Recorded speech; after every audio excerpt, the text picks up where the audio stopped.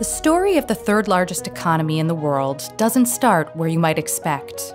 With a gross domestic product of $6 trillion, larger than that of Japan, Germany, Brazil, or the United Kingdom, the dynamic Great Lakes and St. Lawrence Seaway system passes along eight U.S. states and two Canadian provinces.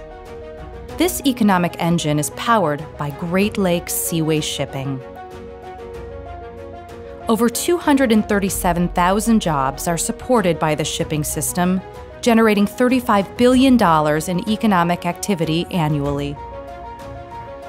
Companies that transport goods through the Great Lakes and St. Lawrence Seaway are making an environmentally responsible decision, as ships produce less carbon emissions than any other mode of transportation.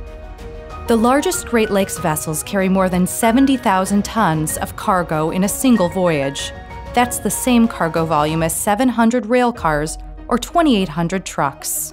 These efficiencies result in fewer emissions and a cleaner environment. On average, seaway shipping is more fuel efficient than both rail and trucking. Not only is maritime the greenest way to ship cargo, it is also the safest.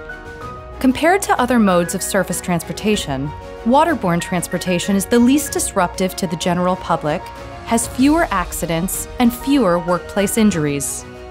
Great Lakes Seaway Shipping harnesses the natural and industrial infrastructure of the region, the heart of which is the Great Lakes Huron, Ontario, Michigan, Erie, and Superior. These magnificent lakes are connected to the Atlantic Ocean and the world by the St. Lawrence River. In total, the Great Lakes St. Lawrence Seaway System spans 2,300 miles from Duluth, Minnesota on the west to the Atlantic Ocean on the east. From one end to the other, 16 locks lift or lower ships a total of 600 feet, the equivalent of a 60 story building. These include the Soo Locks, which lie on the St. Mary's River in northern Michigan and connect Lake Superior to Lake Huron, Managed by the U.S. Army Corps of Engineers, the Locks safely lift and lower ships as they traverse a 21 foot difference in elevation. The navigation system's other 15 locks make up the St. Lawrence Seaway. Eight Canadian locks connect Lake Erie to Lake Ontario along the Welland Canal.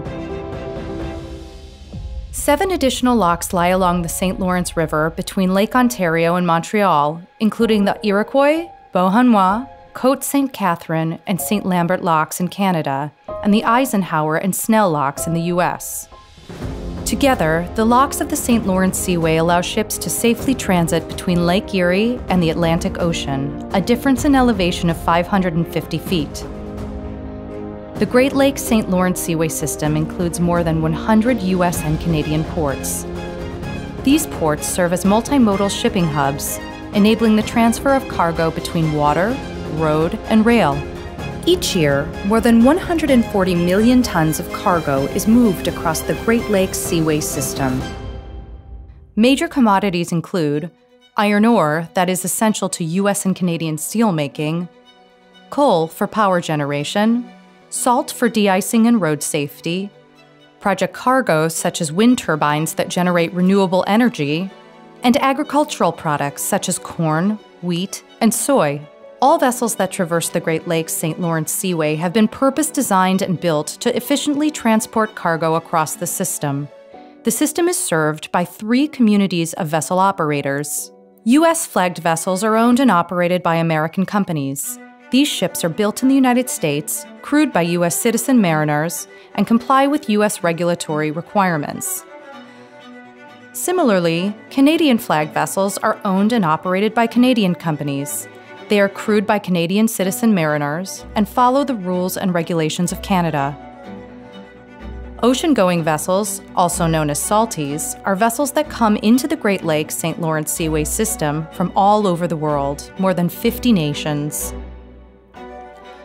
Great Lakes Seaway shipping is a foundation of the American economy, the critical link for industry and ingenuity over 237,000 jobs are supported by Great Lakes Seaway Shipping, generating $35 billion in economic activity annually, contributing to the Great Lakes regional economy, collectively amounting to the third largest in the world, and supporting the quality of life for every citizen. It is America's anchor.